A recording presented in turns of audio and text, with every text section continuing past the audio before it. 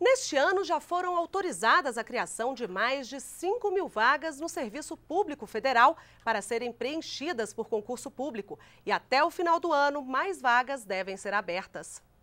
Pela sala de aula lotada, dá para ver que tem muita gente disposta a investir tempo e dinheiro para se tornar servidor público.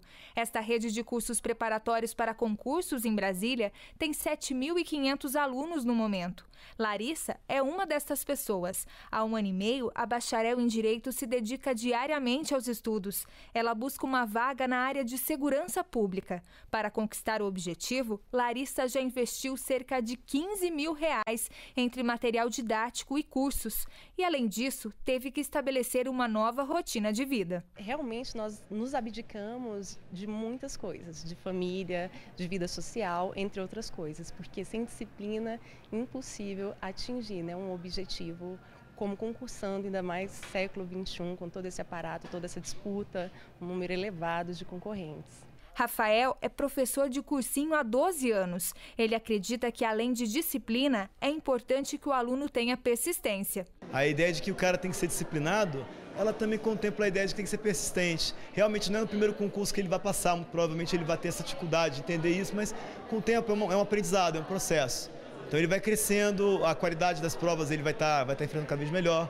Né? As provas ele vai estar tá, vai tá entendendo o que a banca quer. E, e ele vai preparar uma coisa que eu falo muito nas minhas turmas. As questões elas se repetem.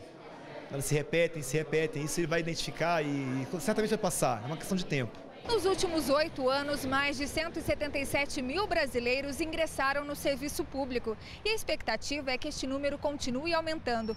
Para este ano, o Ministério do Planejamento já autorizou quase 6 mil novas vagas. Vale a pena investir, vale a pena estudar, vale a pena se qualificar, né?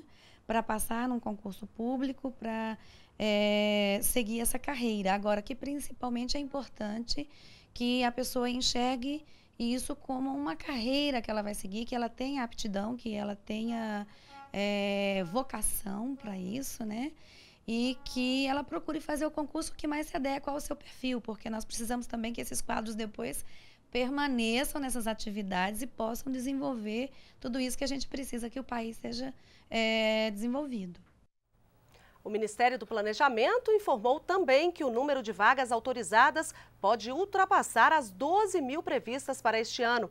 Isso porque a substituição de terceirizados existe um orçamento à parte. O Ministério acredita que, num prazo de até dois anos, 7 mil trabalhadores terceirizados devem ser substituídos por servidores públicos.